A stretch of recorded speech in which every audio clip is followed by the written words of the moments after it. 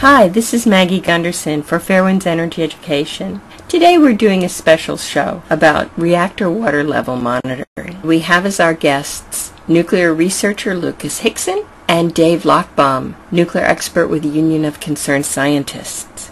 This is not one of our typical podcasts in that this is a very technical podcast, but it's for you geeks out there. A lot of people have written into us and asked for this kind of material. And even if you're a layperson, I think that you will really, really find this interesting and it'll give you insight into how difficult it is to operate a nuclear power reactor. Thank you for joining us. Good afternoon. I'm Lucas Hixson, and I'm here today with Dave Lochbaum with the Union of Concerned Scientists, and we're going to be speaking about what is called the Reactor Water Level Monitoring System at nuclear power plants. Water is used in the nuclear reactor as a critical neutron moderator and coolant. Water levels in the nuclear reactor are not monitored directly, but rather through an indirect monitoring system which incorporates a reserve tank which is termed a reference leg. There have been some reported flaws with this cooling system throughout the years, some of the most notable being brought forth by Paul Blanch in the early 1990s. Dave, can you explain to us some of the nature of his findings? Yes, uh, Paul found some problems with the, the level instrumentation used in boiling water reactors like Fukushima in Japan and Pilgrim and Browns Ferry here in the United States. As you mentioned, the in that type of reactor, the water boils right in the reactor vessel. It's difficult to measure the level of a water that's vigorously boiling. If you imagine a, a pot of boiling water on a stove, you see all that froth level at the top. What is the level of the water in the pot? So what boiling water reactors do is use the reference leg, which is just a non-boiling column of water, and compare the weight of that water to the weight of water in the reactor. And we can judge the density of the water in the reactor vessel easier than we can determine its actual height. And we can use that differential pressure between what the weight of the water in the reactor is versus the weight of the water in that reference column to determine what the level of the water in a reactor vessel is. If you look at a bottle of soda pop and you shake it up and then crack the top, the water level or the beverage level jumps from a nice low level to spewing out the open top because the non-condensable gases inside that soda have become freed by the agitation. Likewise, what Paul noted was that if the pressure of a reactor vessel were suddenly to, to drop, as it could happen during an accident, the non-condensable gases inside the water can cause the water in the reference column to all of a sudden change dramatically as bubbles come out of that water due to the pressure drop, which is similar to cracking a soda pop. It's pressure drops and the bubbles form. We hadn't accounted for that in the water level instrumentation. As those bubbles formed under that situation, the indications of level to the operator could become vastly wrong, uh, several feet, dozens of feet wrong when the reactor core is only 12 feet tall and the low instrumentation is off by 20 feet, you've got a big problem. Is there any other method for operators to determine the water level if the reactor water level monitoring system is not providing accurate data? The operators are provided a, uh, about five sets of water level instrumentation for boiling water reactors. They're calibrated at hot conditions, you know, high pressure, high temperature, as well as cold conditions when the reactor's shut down and the reactor vessel's head is off, the water is less than 212 degrees. The problem is that during an accident, you go from high temperature, high pressure to high temperature, low pressure as, as pipe breaks and water flows out. The operators must choose amongst these five sets of instrumentation to figure out which one is most accurately monitoring the conditions at that moment. And that indication will shift from instrument to instrument and it's the operator's guess as to which one's providing the most accurate indication. And it's when you have 100 tons of reactor core to deal with when you start playing guessing games, uh, long guesses come with high cost. If I remember correctly, the NRC had allowed for a 30-inch discrepancy in that reference leg measurement, and sometimes those measurements could be off by more than 20 or 25 feet. Is that correct? For example, at Browns Ferry, we had three level instruments all with reference legs, and they sometimes would be indicating a foot or more difference between one and the other, and they're all supposed to be monitoring the same thing. So now that we've discussed the possibilities of operators not being able to accurately assess the water levels in a nuclear reactor, due to non-condensable gases building up in the reference leg, I would like to pose another plausible system flaw to you. Um, there has been a common observed phenomenon at nuclear accidents which I feel may not receive enough attention. Reactor operators have been repeatedly put in situations where they have been unable to trust the very equipment that they rely upon to tell them what is occurring in the nuclear reactor, and have reacted either correctly or incorrectly based on that untrustworthy data. And later, these same reactor operators have been blamed for those accidents due to some form of operator failure. Dave, as an example for this, could you share with us some of the instrumentation difficulties that operators experienced at Three Mile Island? Uh, certainly. Uh, in March of 1979, the Three Mile Island uh, reactor was operating at about 97% power when it experienced an unplanned shutdown, automatic shutdown of the reactor that brought it to a subcritical shutdown condition within seconds.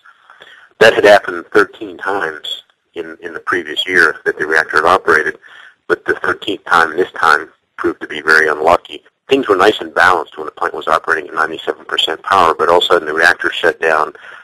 There's a big transient as an effort to try to rebalance the power being produced by the reactor and the power being carried away by the support systems. During the transient, there was a valve that opened on the reactor vessel to allow pressure to be relieved by discharging fluid through that valve into a tank. This time, and that, that's normal, that's the design of the plant to handle that few seconds of transient life, the balance is being restored. But in this situation, that valve stuck open. It was supposed to reclose when the pressure dropped back down, but due to a mechanical failure, the valve stayed open. The operators were instructed, trained, their procedures, all the guidance had been geared towards preventing the tank on which that valve sat on top of from ever becoming filled with water. It was partially filled with water to accommodate the, the swelling and contraction of water as the reactor heated up and cooled down. It was kind of like the overflow tank in a car engine.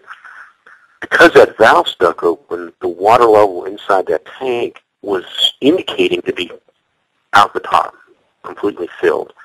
That was not the actual water level, but because the valve was open, kind of like the soda pop bottle earlier, the water level in that tank was falsely out the top, uh, when in fact it was a, it was created by a bunch of bubbles being formed in that water by the pressure of the open valve dropping the pressure, kind of like a removing the top or cracking the top on a soda bottle. The operators reacted to that false indication by turning off the pumps that had started to provide makeup water to cool the reactor. They turned those pumps off because they falsely thought the reactor had too much water, when just the opposite was happening. Over the next two hours, they succeeded in draining more water out of the reactor vessel because they were trying to get the water level in that tank back normal. The false indication continued for nearly two hours to cause them to drain water out of the reactor vessel until the reactor core was partially uncovered and melted down. It overheated and melted down. But those operators were doing exactly what they were trained to do, exactly what their procedures told them to do, but they, they relied on a false indication and were led down a, a very bad road. Now, were there any indications prior to Three Mile Island that a valve would fail in an open configuration like that? Shortly over a year earlier, the Davis-Besse plant in Ohio, which was a twin sister to Three Mile Island, experienced a very similar event. They had a shutdown, but at that time the reactor was operating at about 9% power.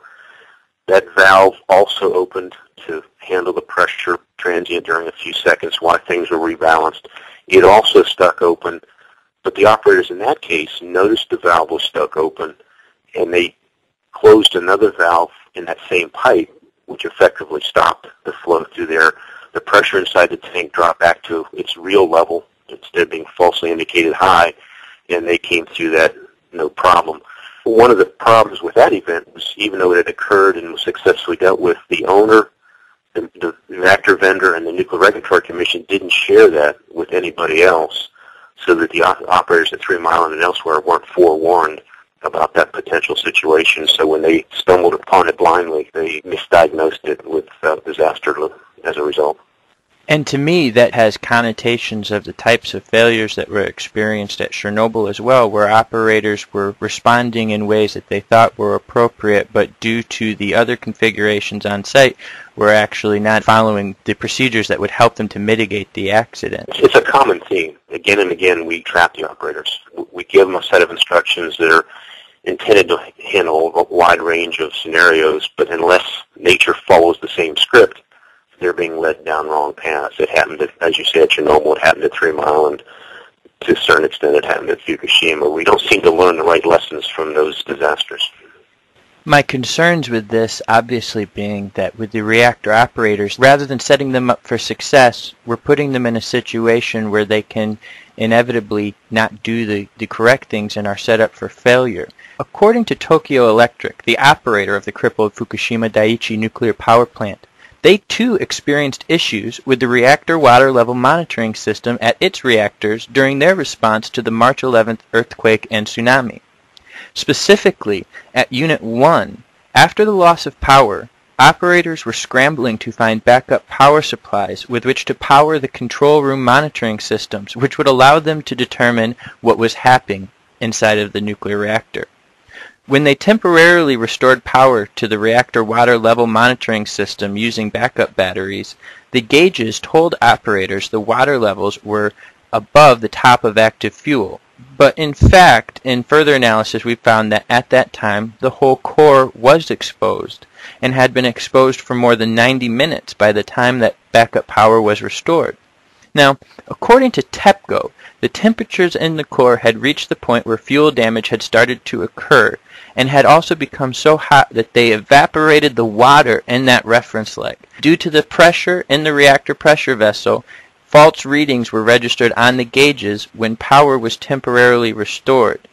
Now, to me, this means that the reactor water level monitoring system is capable of providing reliable data for operators during normal operations. But if there's just one bad day, the system is also capable of failing after the point of core damage. Do you have any comments on this? Oh, I would agree to an extent. The water level instrumentation and other systems at the plant are designed for normal operations and postulated accidents. But when accidents don't follow the scripts that we've written, the indications the operators get or, or the guidance that they're given can be more harmful than helpful. And that's really not the situation we should put them in. At Fukushima Daiichi, we also apparently have observed now that if reactor operators in the future find themselves in a situation where they postulate fuel damage could have occurred, that the temperatures in the reactor itself could have already potentially reached such levels that they evaporate the water in the reference leg. And then the public would be in a position that they're forced to trust the words of the industry, which would be unable to trust its own data. Uh, is this correct? Unfortunately, yeah. The way it is now, and the way it is will, for the foreseeable future, is the best indication you have whether the water levels indications are accurate or not is whether you see a radioactive cloud coming from the plant. That would suggest that the indications are false. We need a better indication than the radioactive cloud telling us whether we do or do not know the water level that's that's too big a price tag to pay for knowing that we're wrong. Dave, are these same reactor water level monitors used at both PWR and BWR styled reactors? They're used on boiling water reactors. The pressurized water reactors use a similar um, but slightly different system. On pressurized water reactors, there's actually not even water level instrumentation for the reactor vessel um, because per our accident scripts, we don't ever drain water out of the primary system. The water level instrumentation is on the steam generators uh, for the pressurized water reactors, which is a secondary loop of water outside the reactor vessel. The steam generators use a system similar to that used in boiling water reactors to monitor the water level inside the steam generators. On pressurized water reactors, except when they're shut down, there's really not a system used to monitor the level water level inside the reactor vessel. Are these issues being addressed, and how could they be addressed, and who should be working on the answers to these problems? We seem to be always fighting yesterday's battle, um, which needs to be done, but we need to broaden the scope to look at key parameters that need to be monitored by operators and whether those parameters will be accurate or not during various accident and severe accident scenarios that they may face. We can't put operators in a position of having to guess what's going on because they, they may guess right, but if they guess wrong, a lot of people pay a high price. So I think the federal government, the national labs, and the industry should be looking at every key parameter, whether it's pressure, water level, temperature, hydrogen concentration, whatever is necessary to be controlled during a, an accident, we need to ensure that the operators get reliable information on those parameters so they can take the right actions at the right times. For example, the poor operators at Fukushima who struggled to repower instrumentation only to be given false indications. They shouldn't have been in the shoes in the first place, but if we do that again to anybody, that's shame on us. The public obviously has a duty to keep themselves informed and to ensure that regulators are doing their jobs to address these issues. But how can reactor operators also help the, the regulatory commission as well as the nuclear industry with addressing these problems? The plant operators, the owners of nuclear power plants, have multi-billion dollar assets that they don't want to see lost. So they have every reason in the world to make sure that the operators of those plants are given reliable information. They should not just fix yesterday's problems. They should look at the instrumentation issue more broadly to look at how to make things better. For example, many plants are replacing old analog equipment with digital equipment because you just can't find some of those spare parts anymore. As you go to digital equipment, as you replace some of this instrumentation, make it better. Make it more reliable. Make it so that it can handle a wider range of scenarios other than the very narrow scripts that we write for accidents. Uh, if we don't do that, we're just relying on luck to prevent the next Fukushima or Chernobyl or Three Mile Island. And the fact that that list keeps growing shows that luck makes a lousy barrier. When we're speaking about the upgrading the analog instruments to digital instruments, I'm also reminded of the event at North Anna in 2012, where they had updated some of the earthquake seismic instruments with digital instruments, but they were not capable of recording the actual earth shaking on site. They were forced to rely instead on the scratch plates. What kind of testing is done with these digital instruments to ensure that they're going to be able to accurately report data in these situations outside of normal operations? Well, the makers of that instrumentation will say that they do really good testing, but the users of that equipment are showing that those marketing claims are falling short of reality. The Browns Ferry nuclear plant also had a problem with digital equipment, and the internet traffic, internet traffic was so high that it interfered with controls of two pumps sending cooling water through the reactor core, causing them to trip offline. So we obviously have some more homework to do to make sure the digital equipment's reliable just for day-to-day operations, let alone handling accident situations. In response to the Fukushima Daiichi accident, the Nuclear Regulatory Commission has expanded some safety instrumentations at nuclear power plants, uh, also specifically related to the spent fuel pools. Can you share a little bit with us about that? One of the problems at Fukushima was that there were seven spent fuel pools. During the accident, the water level and the temperature of that water in the spent fuel pools was unknown to the operation and control room, because they had no instrumentation installed to provide that even if power had been available. So the operators were distracted by sending somebody physically up to look at what the water level was or, or try to figure out what the temperature was. To avoid that situation here at U.S. plants, the Nuclear Regulatory Commission in March of 2012 ordered plant owners to install reliable water level instrumentation. Sounds good, but the order only required owners to install instrumentation and monitor the level down to a foot above where the spent fuel assemblies are stored in the pools. So if there is a problem and water level does drop, the operators may not know that the level is now below the top of the fuel and and core and fuel damage may be imminent. All they know is it's down to within a foot, no lower. There was an opportunity there to measure the water level of the entire pool, not just part of it Again, we're assuming that accidents will follow our scripts, we'll be successful getting water back in before it drops that low, and we'll be setting the operators up for a trap if the water level drops below that. So again, we're, we're replicating the mistakes of yesterday, not learning the solutions from those disasters. Thank you so much, Dave. Once again, I'm Lucas Hixson, and we're speaking with Dave Lochbaum with the Union of Concerned Scientists. Once again, I'd like to thank you for joining us for this conversation.